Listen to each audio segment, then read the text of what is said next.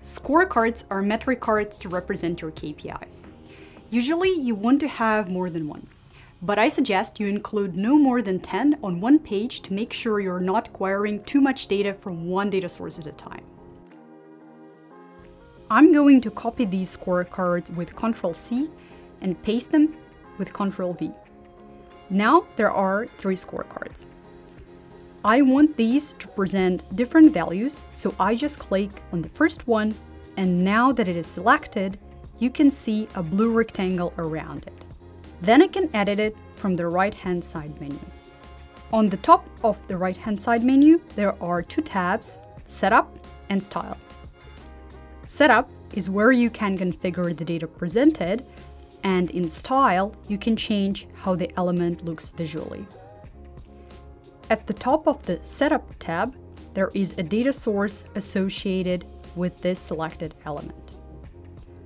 Now, if I click on it, I can change the data source for this scorecard.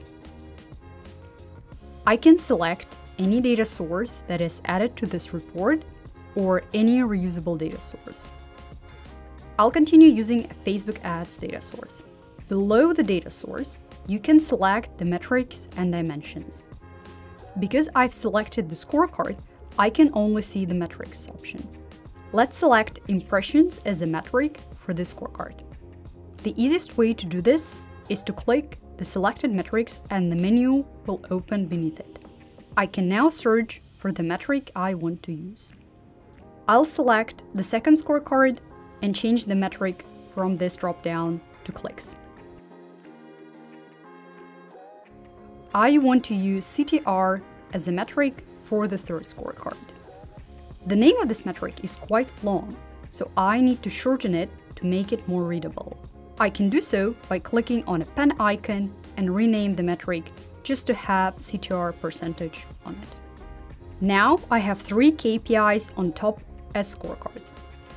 I can select all of them, and because they are the same element type, I can apply changes to all of them at once using the right-hand side menu.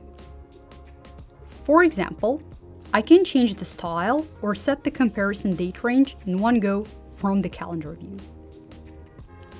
I'll select previous year as a comparison date range for all three elements. I can select the color of the upwards, downwards arrow in the styling section. Sometimes the downwards arrow can be colored green and not red, for example, if CPC goes down, as it is a positive change. You can select comparison colors for individual cards and set the downwards arrow to be green and the upwards arrow to be red. In my case, the default colors are fine, so I'll keep them as they are now. I'm now going to select these two cards with impressions and clicks and select the compact numbers option from the Style tab. You can also change the text alignment.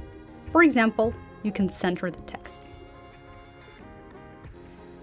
You can also change the background and border. I'm not going to touch the color, but I do want to make the element corners a bit rounded. If you want to have a border, you can also add it from here. Now, my CTR cards look a little bit different. I can copy one of these two cards, then select the CTR card and choose the Paste Special option from the top menu. This will only apply the style to this card.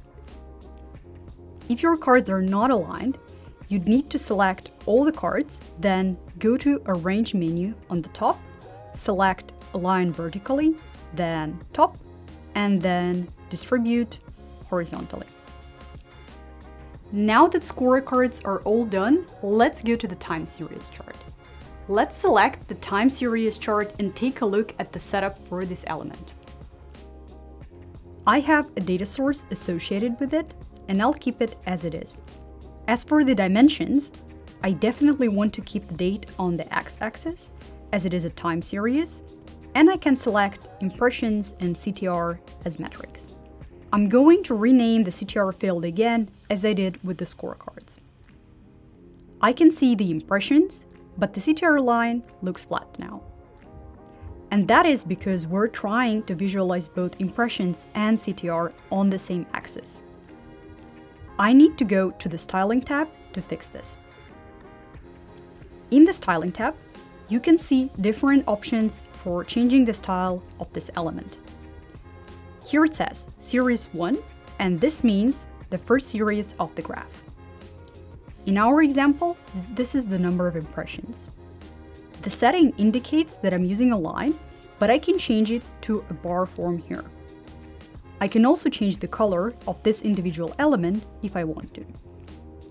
I usually change all my colors from theme and layout section so that I always only use specific colors in a certain set order. I can also choose to show data labels. I'll keep the CTR as a line format and then change the axis to be on the right. Now this time series chart is much more readable. Let's take a look at configuring a bar chart.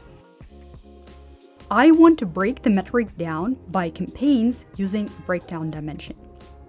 So I'm going to select the campaign name here. And then I want to see the campaigns that have the most clicks.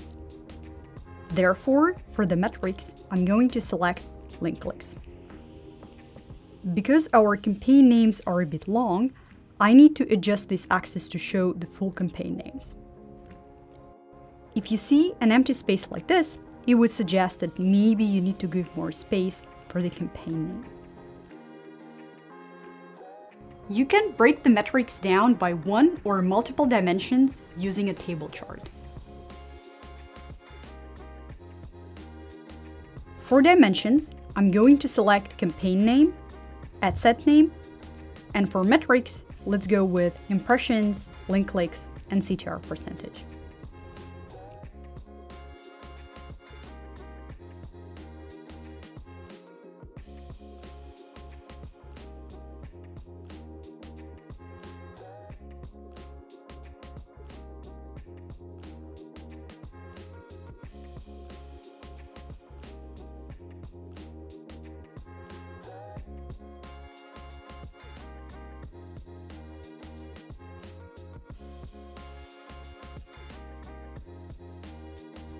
You can set the default sorting by impressions, for example.